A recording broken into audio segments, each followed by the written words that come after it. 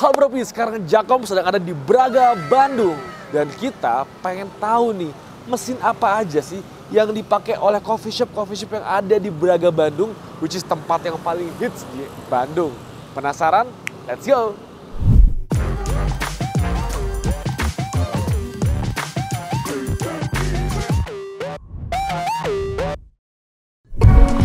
Oke, destinasi pertama Jurnal Risa. Let's go.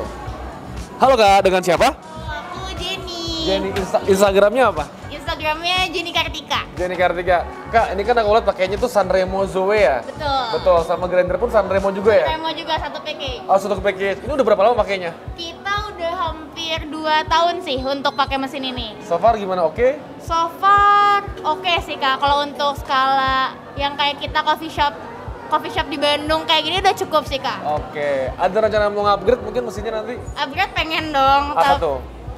Pengen coba Slayer kayaknya yang tiga grup ya. Amin. Lumayan tuh. Tuh, Slayer 3 grup. Gue tapi amazed ya, maksudnya kakak ini tahu banget tentang mesin kopi ya. Even dia pokoknya Slayer, even 3 grup men. So, ini keren banget. Ya udah sih kak, aku cuma tahu itu doang. Thank you banget udah Iya. Tau infonya, sukses buat Dinorisa. Thank you. Destinasi berikutnya, Warung 5 Rasa. Let's go. Halo Kak, dengan Kak siapa? Dengan Kak Juli. Kak Juli, eh, udah berapa lama kerja di Warung 5 Rasa? 5 tahun What? 5 tahun serius? ya 2017 Wow, cool man. Eh, Kak, apa sih Instagramnya?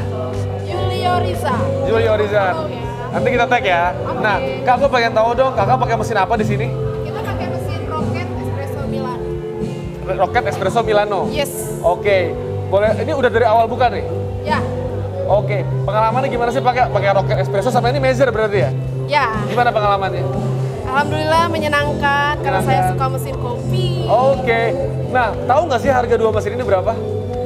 Eh, gak tau itu urusan bos saya Oke, sebenarnya ya kalau setahu gue nih ya, kalau untuk mesin ini ya, eh, Rocket ini kalau nggak salah sih barunya itu 60 jutaan ya, karena gue terakhir jual second itu di 40 jutaan. Wow. Kalau Super Jolly ini barunya kalau nggak salah 15 jutaan dan secondnya sih sekitar 10 sampai 12 juta sih, gitu. Jadi buat, nah kakak penasaran deh, kalau misalnya bisa upgrade mesin, pengen nggak sih upgrade mesin?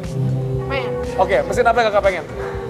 Eh, apa ya yang sekarang lagi viral tuh Apa tuh? aduh apa yang Sa- baru Lamar Zoko. Eh, yang ya lamar Victoria Arduino. Zoko ya Hah? lamar Zoko Oh Lamar Zoko, yang linia PB berarti ya? Ya.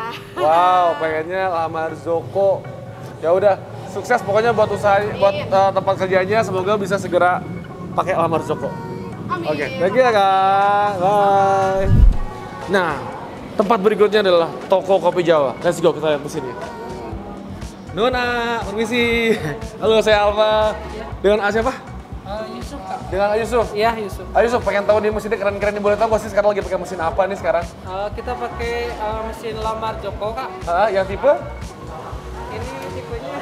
linia PB bukan sih? Ya. Linia PB ya? Iya. Ah, oke. Grindernya pakai apa nih? Wih, pakai Anvim. Anvim. Iya. Anvimnya yang doserless ya? Iya.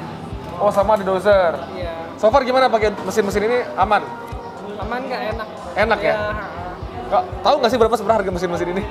Untuk harga sih kurang tahu. Kurang tahu Iya. ya. Mesin ini guys, ini harganya tuh kalau nggak salah barunya aja tuh 150 juta. Grinder ini kalau nggak salah harganya tuh kisarannya sekitar 20 sampai 30 juta. So, mesin aja ini udah hampir 200 juta. Keren banget, keren banget. Nah, kalau misalnya pengen tahu nih, kalau misalnya mau upgrade mesin, pengen nggak sih nge-upgrade mesin yang baru atau misalnya yang beda gitu? Eh, boleh sih kalau. Apa tuh?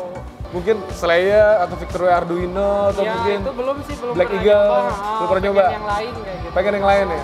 Tapi so far mesin-mesin ini aman-aman aja ya? Aman-aman aja. Kak. Oke lah kalau gitu. Thank you banget ya udah waktunya. Thank you, Nun. Oke, sekarang kita lagi ada di Umbira Coffee. Let's go, kita masuk. Oke, sekarang kita lagi di Umbira Coffee dan mesinnya keren-keren banget di Brobi. Nah, kita akan dibantu sama Mas A. Randy. Nah, A. Randy, pengen tahu dong mesin-mesin dipakai tuh mesin apa aja sih, A?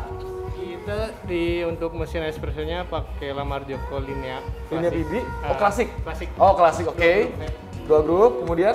Untuk si grindernya kita ada Major Super Jolly dua. Yang Oh, ini satu- ya ini Dozer. Ini Robur kayaknya deh. ini Apa Koni ya? Automatic.